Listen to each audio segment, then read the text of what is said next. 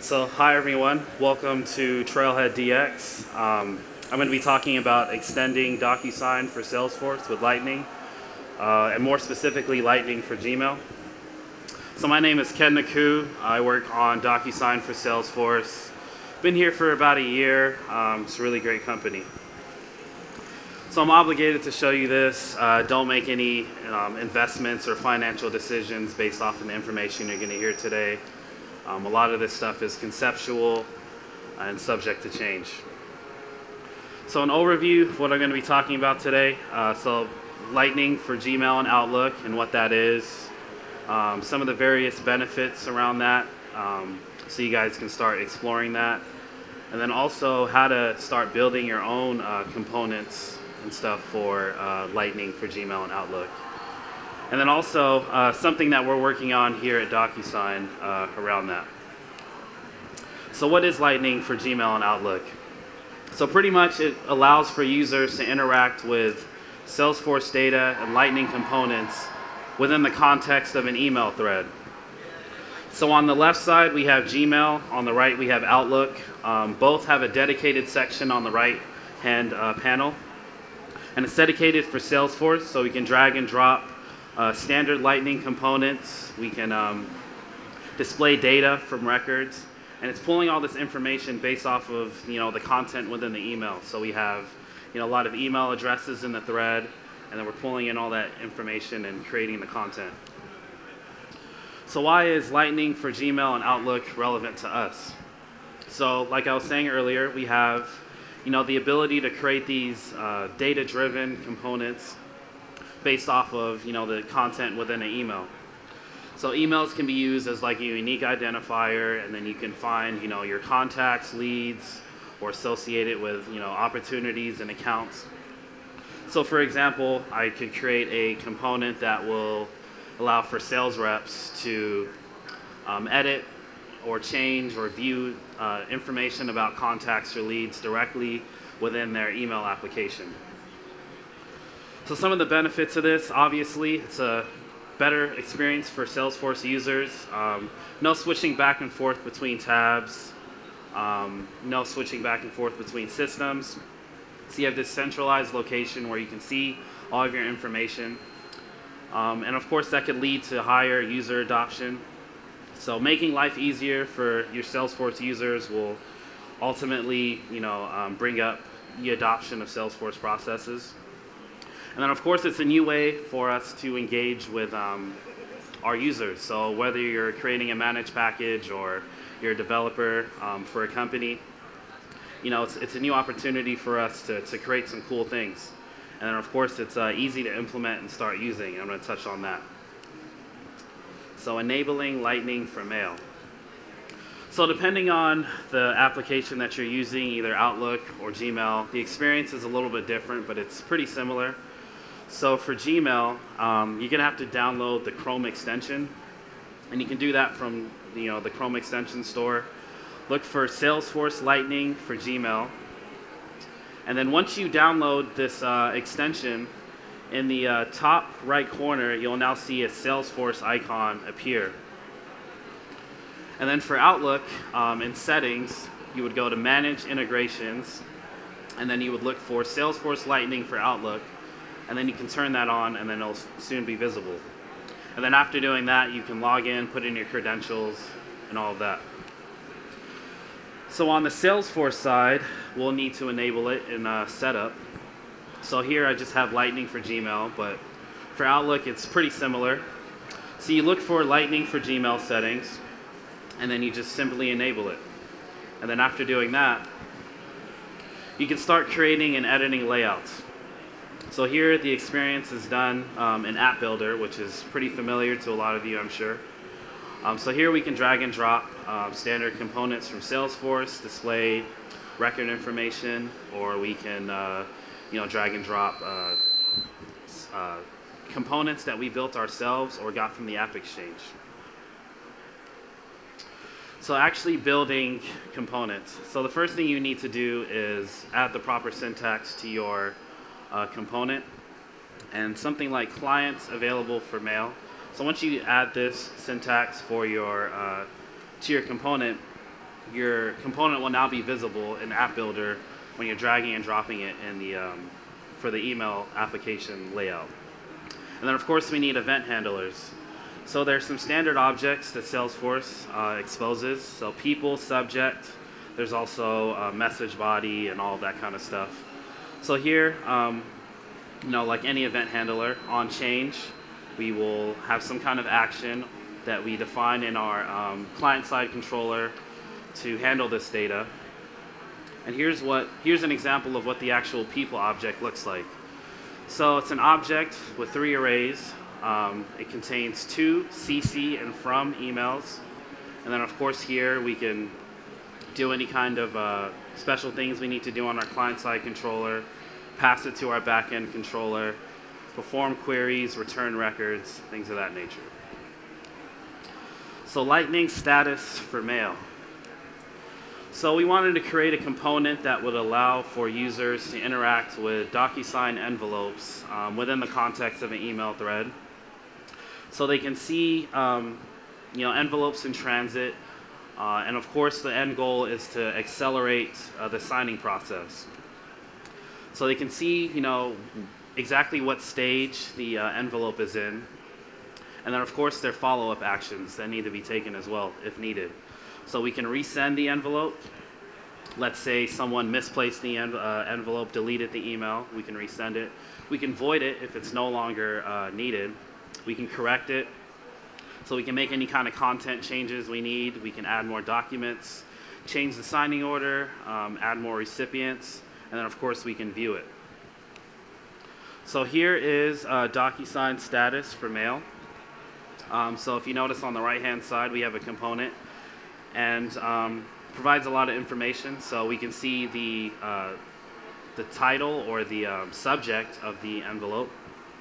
Then we can see who was sent from, which I think is really cool because you can see envelopes sent by other people within your Salesforce instance. So you can reach out to someone on their behalf, say, hey, what's going on? You haven't signed this contract. And then we can see uh, the last activity date of it.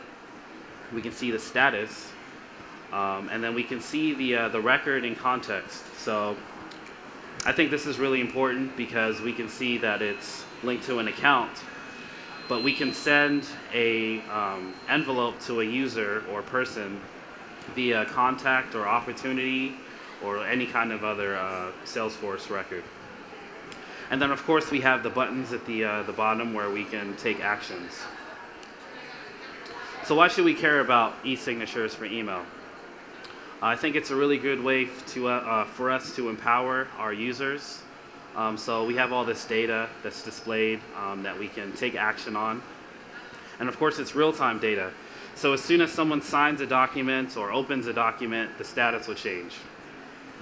And then of course, it's an easy way to bring a lot of this DocuSign for Salesforce functionality outside of um, Salesforce. So I have a demo for you guys. So in this scenario, I'm going to say that I'm a recruiter, and our friend Stephen Washington here is a applicant, and he's a Salesforce developer. He's in really high demand, so I want him to hurry up and sign this uh, offer letter. So he verbally committed, so right now I'm going to uh, send him a offer letter.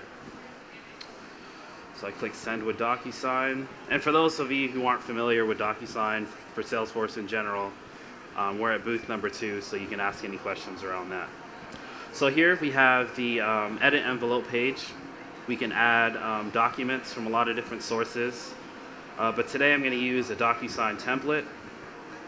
And a DocuSign template allows you to reuse a document so you don't have to keep you know, uploading and uh, recreating the same document. And then we have recipients here. So we have Stephen Washington. So here, I'm going to add a subject. So I'm going to say offer letter. Please sign. Exclamation point. I'm going to click next. And then on this page, uh, the tagging page, we can actually start editing the content of our um, envelope. So XYZ company now offers you, so we're going to put the person's name. And of course, this information is pulled off of the record itself. So I'm going to do a little bit of formatting. Clean. To this, the position of, we can add text, make it read only, SFDC, developer, do a little bit more formatting, and go ahead and send it. So any second now, uh, Stephen Washington will be receiving a email in his inbox. So let's switch over to him. So we have a DocuSign envelope with the subject that we um, gave it. Click review. Click continue. Oh, and I forgot to add something. So um, if you notice, there's no place for Stephen Washington to sign. So let's say he reaches out to me and he's like, hey Ken, uh, you forgot to put somewhere for me to sign. This is really confusing. So from here, um, I can look, and now this envelope appears on the side, and it's based off of the email address I put here. So I can click correct.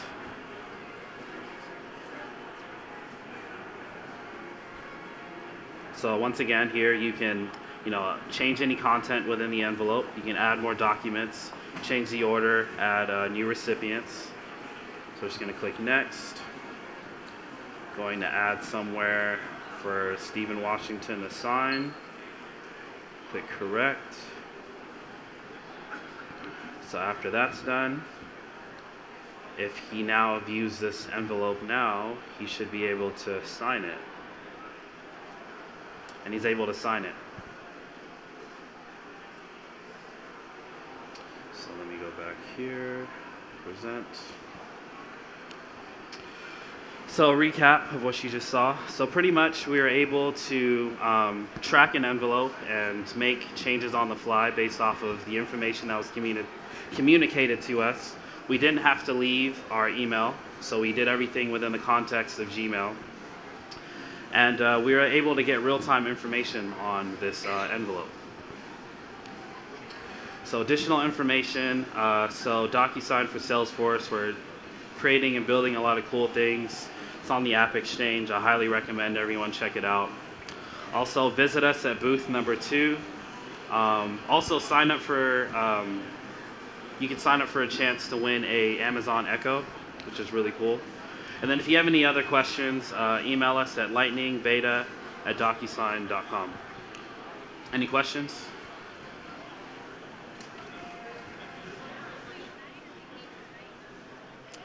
Yeah, e-signature. They need to get their own mic.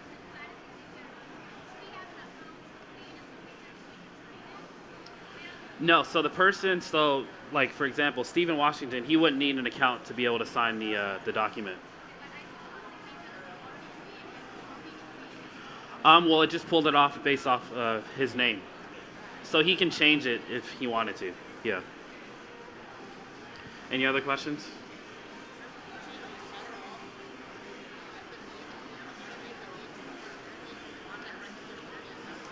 Sorry, what was that?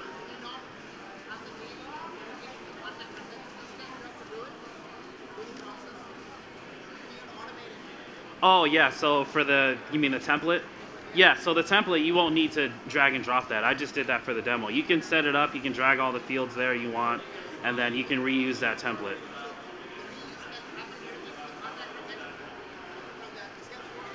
Yeah. Any other questions?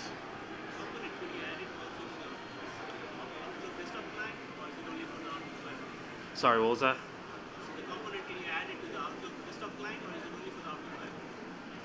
Uh, yeah, I can barely hear. Do you guys have like another microphone or something?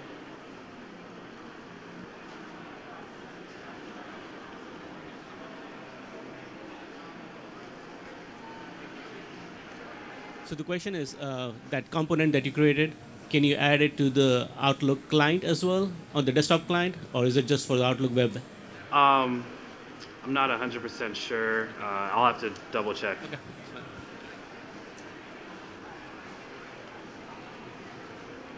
Oh, there's a question in the back too. Hey, um, well, by the way, that you can do the um, if you have Outlook, you can put that panel in, in Outlook if you have Yeah. 365, and it works. It would work the same way I imagine as it would on Gmail or Outlook. Um, So my question was, you had a slide that was like the second code slide up there. I was wondering if you could go back to it. Oh yeah, yeah, sure. Came up a little quickly. This one or this one? That one. All right. Okay. I'm just gonna get a picture of it. Set. Go. Go back to the other one. Okay. Other one, yeah, one. Thank you. Good presentation. Thank you. Any other questions? No? Well, thanks uh, for coming out and uh, hearing me speak. Uh, so we're, we're going to be at uh, booth number two if you have any more questions or just questions related around DocuSign for Salesforce in general. All right, so thank you.